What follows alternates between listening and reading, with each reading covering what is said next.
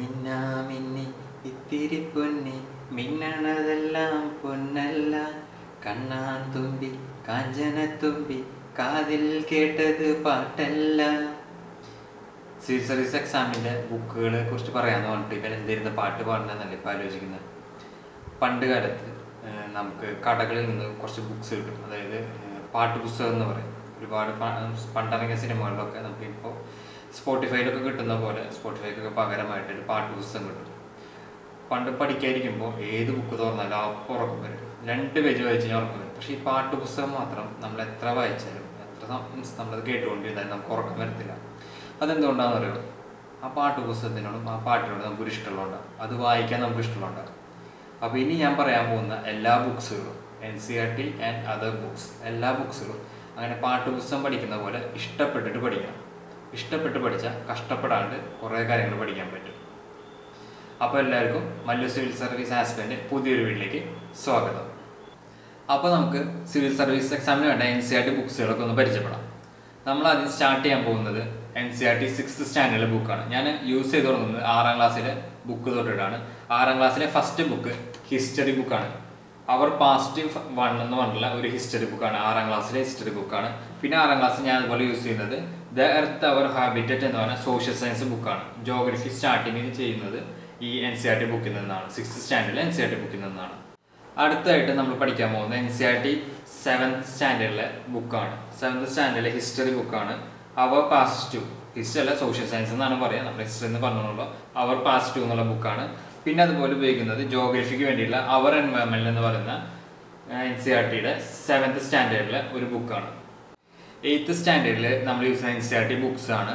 ഒന്ന് നമ്മുടെ history book our pasts three എന്ന് പറഞ്ഞ സോഷ്യൽ സയൻസിന്റെ ബുക്കാണ് ദെൻ അടുത്ത് വരുന്നത് വെച്ചിട്ടുണ്ടെങ്കിൽ റിസോഴ്സസ് ആൻഡ് ഡെവലപ്മെന്റ് എന്നുള്ള സോഷ്യൽ സയൻസിന്റെ ജോഗ്രഫി ബേസ്ഡ് ബുക്കാണ് ഓക്കെ ഇനി അടുത്ത ബുക്ക് പറയാൻ പോകുന്നത് ഒമ്പതാം ക്ലാസ്സിലത്തെ N C R T text ബുക്കാണ് ഫസ്റ്റ് വൺ എന്ന് വെച്ചിട്ടുണ്ടെങ്കിൽ നമ്മുടെ സോഷ്യൽ സയൻസിന്റെ ഹിസ്റ്ററിയുടെ India and contemporary world one എന്ന് പറഞ്ഞൊരു ബുക്കാണ് ദെൻ അത് കഴിഞ്ഞാൽ വരുന്നത് അടുത്ത ബുക്ക് എന്ന് പറയുന്നത് സോഷ്യൽ സയൻസിൽ തന്നെ കണ്ടംപററി ഇന്ത്യ വൺ എന്നുള്ള ജോഗ്രഫിയുടെ ഒമ്പതാം ക്ലാസ്സിലത്തെ ടെക്സ്റ്റ് ബുക്കാണ് പിന്നെ വരുന്നത് നമ്മുടെ ഒമ്പതാം ക്ലാസ്സിൽ തന്നെ എക്കണോമിക്സിന്റെ ഒരു ടെക്സ്റ്റ് ബുക്ക് വരുന്നുണ്ട് എൻ സി ആർ ടി ആ ഒരു ബുക്ക് നമ്മൾ യൂസ് ചെയ്യുന്നുണ്ട്. പിന്നെ വരുന്നത് സോഷ്യൽ സയൻസിന്റെ ഡെമോക്രാറ്റിക് പൊളിറ്റിക്സ് ഫസ്റ്റ് എന്ന് പറയുന്ന സോഷ്യൽ സയൻസിന്റെ ഒമ്പതാം ക്ലാസ്സിലത്തെ ബുക്കാണ് അടുത്തായിട്ട് നമ്മൾ പറയാൻ പോകുന്നത് എൻ സി ആർ ടി പത്താം ക്ലാസ്സിലത്തെ ബുക്സ് ആണ്. ഇതിന് നമ്മുടെ മെയിൻ പേജ് ഇല്ല കേട്ടോ മെയിൻ പേജ് മിസ് ഞാൻ പണ്ടത്തെ ബുക്കുകൾ വാങ്ങിച്ചതാണ് പൈസ കൊടുത്തിട്ട്.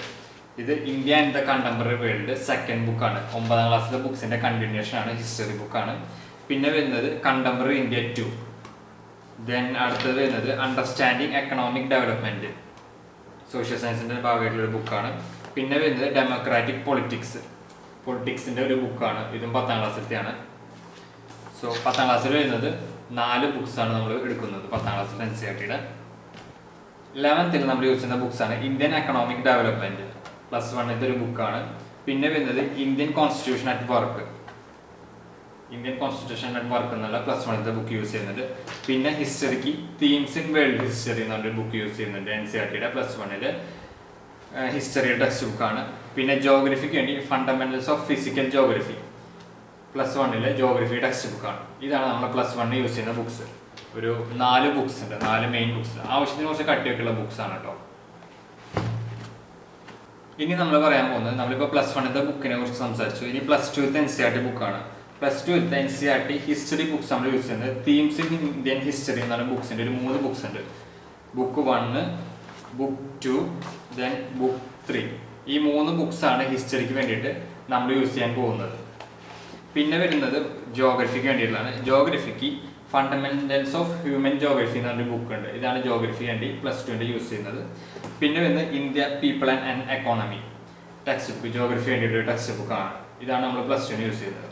അപ്പോൾ നമ്മൾ ഇത്രയും ബുക്സുകളാണ് എൻ സി ആർ ടിയുടെ ഭാഗമായിട്ട് സിവിൽ സർവീസ് എക്സാമിന് വേണ്ടി നമ്മൾ പ്രിപ്പയർ ചെയ്യാൻ വേണ്ടി നോക്കുന്നത്. ആറാം ക്ലാസ് തൊട്ടുള്ള സിക്സ് സ്റ്റാൻഡേർഡ് തൊട്ടിട്ട് പ്ലസ് ടു വരെയുള്ള ഹിസ്റ്ററി ജോഗ്രഫി പിന്നെ എക്കണോമിക്സിന്റെ ഒന്ന് രണ്ട് ബുക്സ് ഉണ്ട് പിന്നെ പൊളിറ്റിക്സ് സയൻസിന്റെ ബുക്സ് ഉണ്ട്.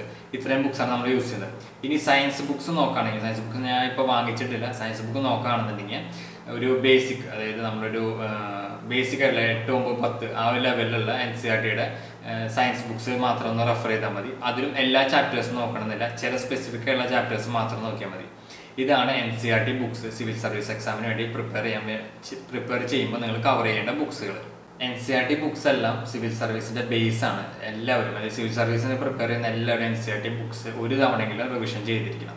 എന്റെ ഒരു ഒപ്പീനിയൻ പറയുകയാണെന്നുണ്ടെങ്കിൽ ഒരു തവണ ഫുള്ളി വായിച്ചതിന് ശേഷം നോട്ട്സ് പ്രിപ്പയർ ചെയ്ത ശേഷം ആ നോട്ട്സ് നന്നായിട്ട് ബൈഹാർട്ട് ചെയ്ത് നന്നായിട്ട് അത് റിവിഷൻ ചെയ്യണം. കാരണം ബേസ് ആണ്. നമ്മളൊരു വീട് വയ്ക്കുമ്പോൾ ഇപ്പോൾ അതിന്റെ ബേസ് ശരിയായാലും ബാക്കിയെല്ലാം ശരിയാവത്തുള്ളൂ. അല്ലെങ്കിൽ വീട് കേടായിട്ട് കേടായി നശിച്ചു പോകും. അതുപോലെ തന്നെയാണ് സിവിൽ സർവീസിന്റെ കാര്യത്തിലും. എൻ സി ആർ ടി ആണ് main base N C R T പഠിച്ചു പോയി കഴിഞ്ഞാൽ ബാക്കിയെല്ലാം നിങ്ങൾക്ക് കവർ ചെയ്യുമ്പോൾ വളരെയധികം ഹെൽപ്ഫുൾ ആവും. ഒരുപാട് ക്വസ്റ്റ്യൻസും current affair N C R T base ചെയ്തിട്ട് ചോദിക്കാൻ സാധ്യതയുണ്ട്. അപ്പോൾ നിങ്ങളെല്ലാവരും എൻ സി ആർ ടി ബുക്സും പ്രിപ്പയർ ചെയ്യുമ്പോൾ സോറി സിവിൽ സർവീസിനെ പ്രിപ്പയർ ചെയ്യുമ്പോൾ എൻ സി ആർ ടി ബുക്സും നന്നായിട്ട് കറക്റ്റായിട്ട് കവർ ചെയ്യണം. ഈ ബുക്സ് അറ്റ്ലീസ്റ്റ് ഈ ബുക്സ് എങ്കിലും ഇത്രയും ബുക്സ് എങ്കിലും നിങ്ങൾ കവർ ചെയ്തിരിക്കണം. അപ്പോൾ നമ്മൾ ഈ ഒരു സെഷനിൽ ഡിസ്കസ് ചെയ്തത് സിവിൽ സർവീസ് എക്സാമിന് വേണ്ട എൻ സി ആർ ടി ബുക്സിനെ കുറിച്ചിട്ടാണ്. ഓക്കെ അപ്പോൾ എൻ സി ആർ ടി ബുക്സിനെ കുറിച്ചൊരു ഒരു ഊഹം നിങ്ങൾക്ക് കിട്ടിയെന്ന് ഞാൻ വിചാരിക്കുന്നു. ഈ അറ്റ്ലീസ്റ്റ് ഈ ബുക്സ് എങ്കിലും നിങ്ങൾ എല്ലാവരും റെഫർ ചെയ്യണം. ഇനി അത് ഞാൻ ബുക്സുകളെ മിസ് ചെയ്ത് പോയി നിങ്ങൾ കമന്റ് സെക്ഷനിൽ ആഡ് ചെയ്യാം. നമ്മൾ ഇനി അടുത്തൊരു വീഡിയോയിൽ സിവിൽ സർവീസ് എക്സാമിന്റെ മെയിൻസിനും പ്രിലിംസിനും വേണ്ട അഡ്വാൻസ് ബുക്സിനെ കുറിച്ച് നമുക്ക് ഡിസ്കസ് ചെയ്യാം. അപ്പോൾ ഈ ഒരു വീഡിയോ ഞാൻ വൈൻഡപ്പ് ചെയ്യാണ്. അപ്പോൾ എല്ലാവർക്കും താങ്ക് യു ഓൾ ബൈ